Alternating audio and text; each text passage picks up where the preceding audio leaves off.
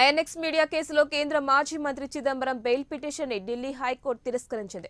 ప్రస్తుతం తీహార్ జైల్లో ఉన్న చిదంబరానికి నిన్న ఈడీ కోర్టు కూడా బెయిల్ నిరాకరించింది. చిదంబరానికి వ్యతిరేకంగా ఉన్న ఆరోపణలు చాలా తీవ్రమైనవని ఢిల్లీ హైకోర్టు తెలిపింది. ఈ కేసులో ఆయన చాలా యాక్టివ్గా పాత్ర పోషించారని ఢిల్లీ హైకోర్టు వ్యాఖ్యానించింది.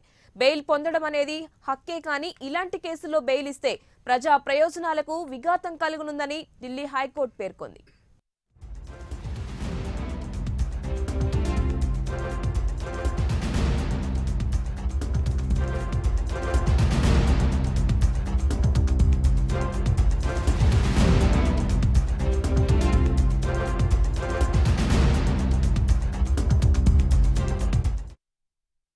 ఐఎన్ఎక్స్ మీడియా కేసులో కేంద్ర మాజీ మంత్రి చిదంబరం బెయిల్ పిటిషన్ను ఢిల్లీ హైకోర్టు తిరస్కరించింది.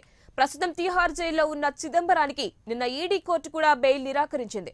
చిదంబరానికి వ్యతిరేకంగా ఉన్న ఆరోపణలు చాలా తీవ్రమైనవని ఢిల్లీ హైకోర్టు తెలిపింది. ఈ కేసులో ఆయన చాలా యాక్టివ్ పాత్ర పోషించారని ఢిల్లీ హైకోర్టు వ్యాఖ్యానించింది. బెయిల్ పొందడం అనేది హక్కే కానీ ఇలాంటి కేసుల్లో బెయిల్ ఇస్తే ప్రజా ప్రయోజనాలకు విఘాతం కలుగుతుందని ఢిల్లీ హైకోర్టు పేర్కొంది.